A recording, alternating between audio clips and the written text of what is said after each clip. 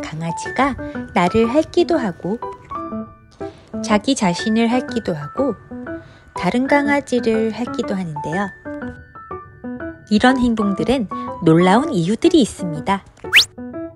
애정 표현인지 스트레스인지 또 다른 이유들이 있는지 멍식스와 함께 알아볼까요? 멍식스는 엄마와 아가들이 같이 살고 있어서 서로를 핥아주는 행동을 자주 볼 수 있어요. 미안해, 사랑해서 그런 거야. 목연은 새끼를 낳으면 태막에 쌓여 있던 강아지를 혀로 핥아 젖은 것을 닦아주고 체온을 유지시켜줍니다. 배설물도 핥아서 해결하고 건강 상태도 체크하죠. 그래서 무의식 속에 혀로 핥는 것이 애정 표현이라고 생각한다고 해요. 야생의 동물들이 새끼에게 먹이를 물고 와 입으로 먹인 습성이 남아서 배가 고플 때 보호자의 입을 핥기도 한답니다.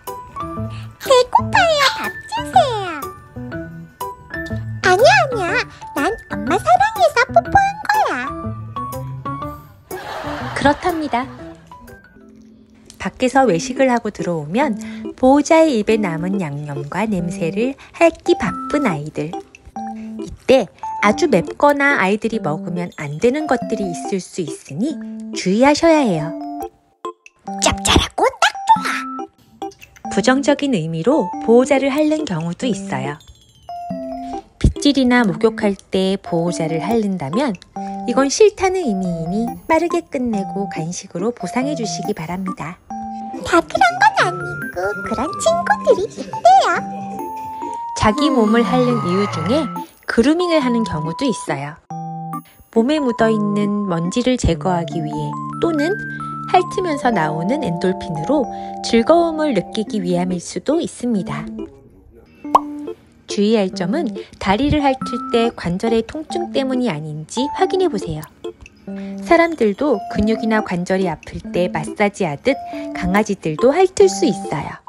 강아지가 핥으면 천연 진통제인 엔돌핀을 방출하여 통증을 진정시키는데 도움이 됩니다. 하지만 치료가 되는 건 아니니 행동이 과하다면 병원에서 진료받아 보시기 바랍니다. 강아지들은 발바닥, 피부, 항문, 생식기를 핥는 경우가 많죠? 귀여운 깔끔쟁이들이 볼일을 보고 뒤처리를 스스로 하기도 하지만 너무 과하면 습진이나 염증이 생길 수 있으니 살펴봐 주세요. 난 이 방석이 맛있더라. 아이들이 장난감이나 이불을 핥기도 하는데 맛있는 냄새가 나거나 애정하는 물건에 이런 행동들을 해요. 아주 고소한 맛이야. 어떤 강아지들은 자기 몸의 불편함을 줄이기 위해 이런 행동을 한다고 하니 주의 깊게 살펴봐야겠어요. 야, 내 좋아하는 각질이 묻었네. 무다리 맛도 지기네. 강아지지. 우리 집 세수머신 엘리. 강아지, 사람 가리지 않고 핥아댑니다. 엄마 로미한테 다 배운 거래요. 엘리 나이가 10살인데 아직도 세수시키는 엄마 로미. 누구인가? 누가 꾸지직 소리를 내었어? 너 어제 양치 안 했니? 원래 도망가야겠다. 엘리는 특히 귀를 열심히 핥아줘요. 강아지 귀에서는 정말 매력적인 맛이 느껴져 핥아준다고 해요. 종이 귀가 제일 맛있어. 또 하나는 서열을 존중하는 모습으로 귀를 핥아줄 수도 있다고 합니다. 내가 왕이야. 난 여기가 귀구나. 강아지들이 핥는 모든 행동들은 강박적이지 않다면 큰 문제가 되지 않습니다. 하지만 아이들이 불편함이 있는 건 아닌지 꼭 살펴볼 필요가 있어요. 강아지들이 핥는 이유는 매우 다양하고 사랑스러워요.